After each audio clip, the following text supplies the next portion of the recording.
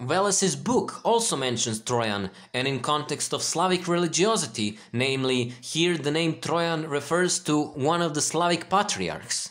The Troyan from Veles's book was, therefore, one of the magicians, that is, a priest, and out of respect for this person, a period of Slavic history was called Trojan Ages. No matter how we understand Troyan, we must take into account that this is a special being that is in no way connected to the Roman emperor of the similar name, but that it is most likely that, that the cult of this being, whether he was magician or a demon, uh, whether he was a priest or a demon, was a basis of the cult of the Roman Emperor Trajan. Because even as a demon, Trajan had to exist in human consciousness independently of the existence of Emperor Trajan. And the following facts support this thesis. Male beings who have relations with women under the cover of night exist in legends of many peoples, so it is not surprising that such entity also appears in the myths of Slavs. One of the names of this entity is incubus, while the female form of this demon, which has relations with men, is succubus.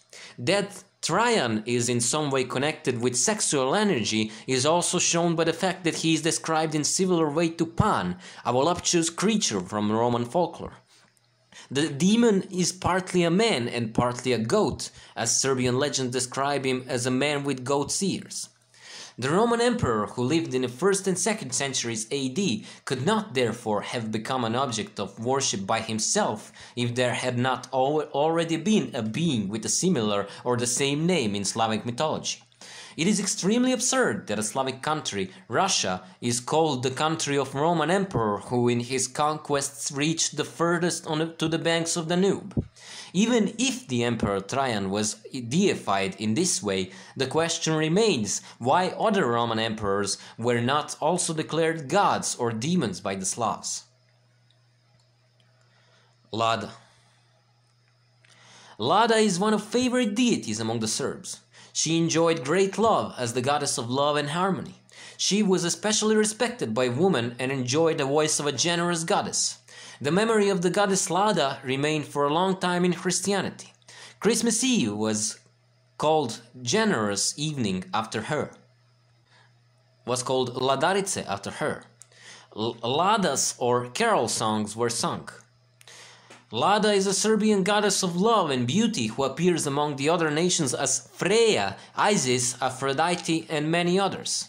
Lada lives in Iri, the world of gods and the dead, until spring, when she emerges and begins the period when she rules the earth. At the end of the summer, she returns to Iri again. Although her reign begins in March 21, Lada is above all the goddess of summer. Lada's animals are rooster, deer, ant, and eagle, while her plants are cherry, buttercup, linden, and peony. Besides the planet Venus, the constellation Taurus corresponds to the lady. Lada is presented as a girl with long golden hair, which symbolizes her function as the fertility deity, thus making her an aspect of the Great Mother. On her chest was sometimes the symbol of the sun, the sign of life-giving power. As the goddess of fertility, Lada has her own annual cycles, which shows the belief that she resides in the abode of the dead until the vernal equinox. The rite of Ladarice was performed in Serbia under the name of Kraljice, is also well known. The basic features of this ritual being described by Vuk Karadžić, on a day of Holy Trinity, a group of ten young girls gather, one of whom is dressed as a queen, another as a king, and third as a standard bearer. The queen sits on a chair while the rest of the girls dance around her, and king as the, and the standard bearer dance by themselves. In this way, the queens go from house to house looking for girls to marry. Another feature of the rituals performed in honor of Lada is jumping over a fire. Vesna. Among the Serbs, Vesna was the goddess of spring, and she was also associated with youth. This goddess stands at a turning point of time and living conditions. Vesna is a goddess who was very popular with the Serbs because she replaced the rule of winter and death, that is, Morena. Morena ruled winter, and Serbs, especially northern ones, associated that period with death. Winter at that time was marked by lack of food, various diseases, which is called by the cold, and thus with many deaths. Vesna brings a complete upheaval in the lives of people and their pets. It brings green fields, flowering, pleasant weather, more suitable for life and work. With these changes in nature, Vesna brings joy to people's homes. Serbs celebrated spring precisely because it defeats winter and heralds summer. As spring symbolized the beginning of a beautiful age in a people, when a nature blooms, wakes up, is born again, and life is renewed, so Vesna got the role of goddess of youth. Vesna represents the renewal of life, one of the brightest divinities which brings joy of life, and that is why she was popular among the people. This fact is also evidenced by the fact that the female name Vesna is especially common among the Serbs. People give their daughters their name, believing that their daughters will be joyful and cheerful like the goddess Vesna, that is, like the spring. Namely, Vesna was the role model for women. She was beautiful and powerful. She spread intoxicating scents around her. In addition to beauty, she was also credited with power over the heat of the sun, without which spring could not come. They believed that Vesna was a favorite among the gods as well as, as among the people, she, since she was never lonely. She was followed by Gerovit, who watched over her, and Stribog, the god of wind and air. Vesna, Vesna is the goddess of victory and savior. She saves people from pain and suffering, defeats death and winter, and brings her rule to nature. The people celebrated and commemorated this victory brought by Savior Vesna and in their customs. According to legend, Stribog brought Vesna every spring on the wings of a light and pleasant breeze of vigor.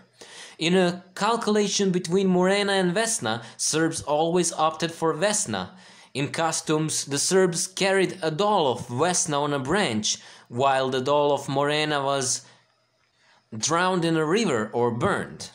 This costume symbolically marked Vesna's victory over Morena. Vesna's victory is not final because everything in nature repeats itself every year. That is why the fight between good and evil is repeated. The people celebrated Vesna and prayed to her through the prayers and various magical acts. Thus he, the winter, thus she drove the winter and winter from their home, their homes.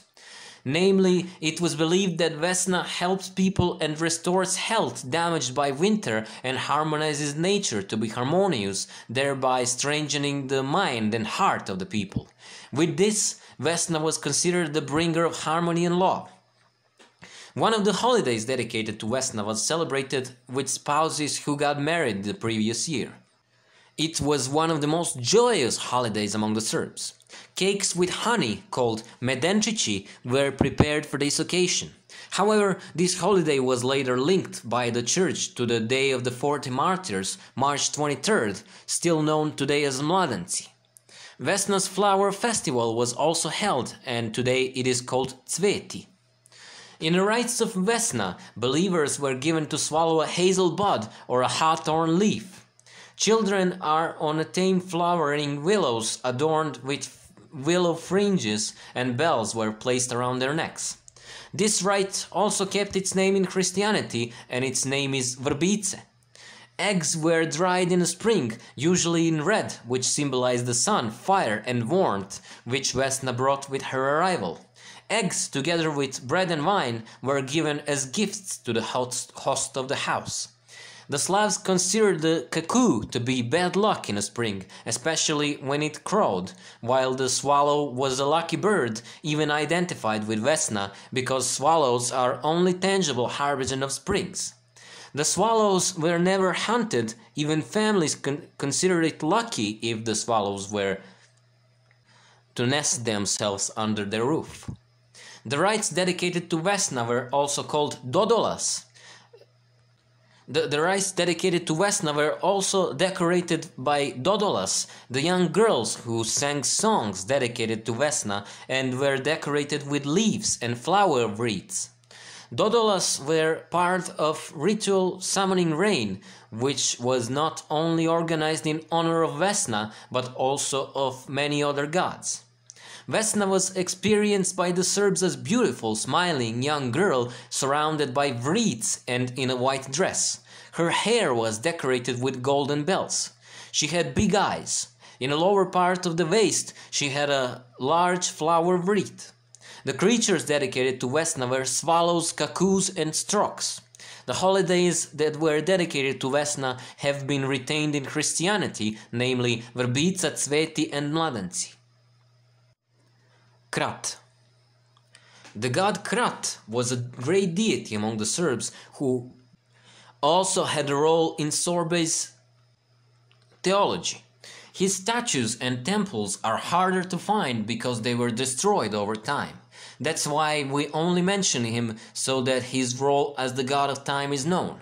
He represents time. He belongs to the order of the gods of Yav. These are the gods of the sky and the sun, unlike the gods of Nav, that is, the gods of underworld and darkness. According to that division, we have black and white gods, gods of Yav and Nav. Serapis Serapis is a deity destined to become the unified belief of Europe and Asia. It was definitely established in Alexandria during the time of Ptolemy I Lagic. During the division of Alexander's empire after his death, Ptolemy was given the administration of the Egypt. He appears before the Egyptians as their new pharaoh and tries to make connections between the Serbs and the Egyptians.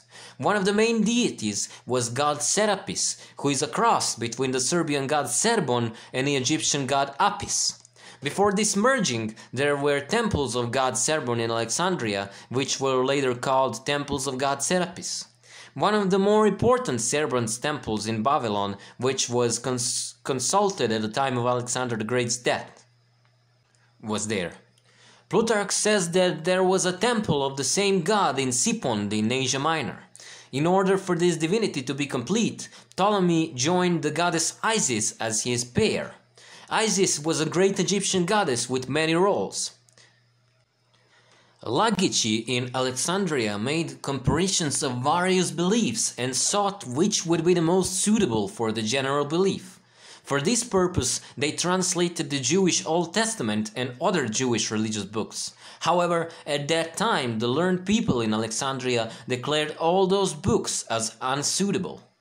This is why the cult of Serapis was formed as a general belief. Serapis was declared a state religion by the Romans and spread throughout the empire. Only in the 4th century after Christ, when Christianity gained momentum, more precisely in 385 under the leadership of the Christian clergy, Serapis and his temple Serapeum in Alexandria were destroyed. In Roman Empire, there was a struggle between the fate of Serapis and that of Christ until Constantine the Great prevailed in favor of Christianity. Word of the author.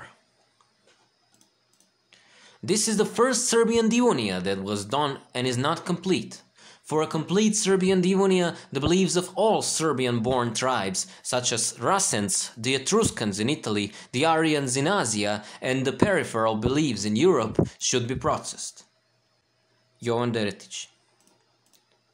End.